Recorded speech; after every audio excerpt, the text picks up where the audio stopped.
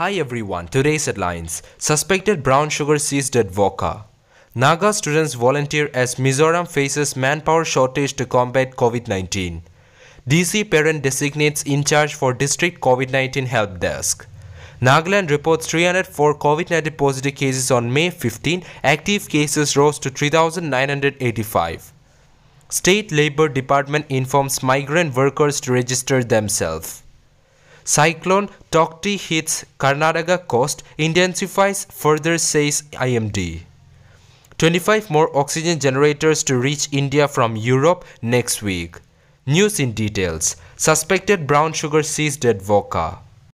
Acting on a tip off, a combined team of Wokha police station and woman police station intercepted one Getz vehicle bearing registration number AS237843 from Doyang Bridge on May 12, 2021 and found 23 gram of suspected brown sugar from the possession of the two occupants of the car. In this connection, two persons were arrested, namely Zujantung, 40 years and Libamo, 31 years and a case was registered at Women Police Station, Wokha under Section 22B NDPS Act for further investigation, a DIPR report said. Naga students volunteer as Mizoram faces manpower shortage to combat COVID-19. As the second wave of COVID-19 is sweeping across the country and Mizoram state faces manpower shortage to combat COVID, students from Nagaland along with fellow student volunteers to help the battle against COVID in Mizoram. The Naga Students Union Mizoram NSUM informed that the Regional Institute of Paramedical and Nursing Sciences College, Mizoram, final year students from the Nagaland along with fellow students volunteered for vaccination, sample collection, data operation and monitoring of COVID-19 care centers as Mizoram state faces manpower shortage to combat COVID-19. Earlier this week, Mizoram Health Department Joint Director Dr. C. Lezipu had sought volunteers from nursing and medical institute to quell the manpower crunch. We urge the students to volunteer after taking the concern of their parents and accordingly around 70 students from various disciplines came forward for the mission said Dr. H. Laringmevi, Principal RIPANS Mizoram. DC Perens designates in charge for district COVID-19 help desk in view of the surge in COVID-19 cases and to ensure that patients and parties are provided with updated information on the status of facilities available in the district. DC Peren Cindy Wapang Ayer has designated Zhangbyu CHC Jalukie as in charge to man the District COVID-19 help desk with immediate effect. The in charge will ensure that updated information on bed occupancy, ambulance services and other vital information for health facility is kept readily for the public 24 into 7. Further, the DC stated that all concerned may contact the helpline numbers or district control room 8732841972 or 9402728560 for any assistance related to COVID-19. Nagaland reports 304 COVID-19 positive cases on May 15. Active cases rose to 3,985.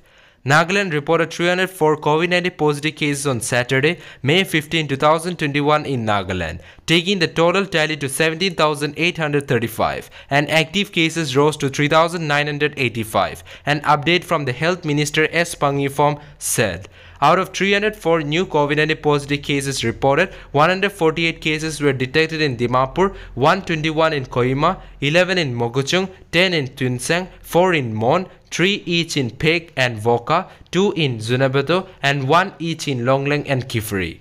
Also, the state recorded 53 recoveries of COVID-19 patients, taking the total recovery tally in the state to 13,087, updated the Health Minister S. Pangnyu Phom.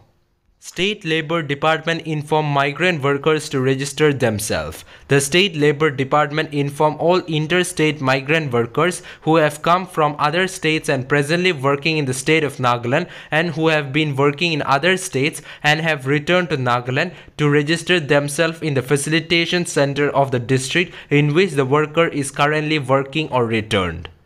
Owing to the present pandemic situation, huge displacement of interstate migrant workers is taking place all over the country. And in order to facilitate such workers, the Nagaland State Labour Department as per the direction of Ministry of Labour and Employment, Government of India is opening facilitation center in the office of the Assistant Labour Commissioner in all the respective districts.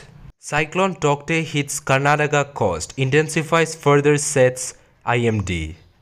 Cyclone Tauktae intensified into a very severe cyclonic storm on Sunday morning. According to Indian Meteorological Department, it is moving north-northwest side and will cross the Gujarat coast in the morning of May 18, the IMD further said. In a tweet, the IMD said on Sunday morning the SCS Tauktae intensified into a VSCS lay centered at 2.30 am IST of 16 May about 150 km southwest of Panjim, Goa, 490 km south of Mumbai, 730 km of SS west of Veraval that is Gujarat, cross Gujarat coast between Porbandar and Mahuva, Bhavnagar district around 18 May early morning.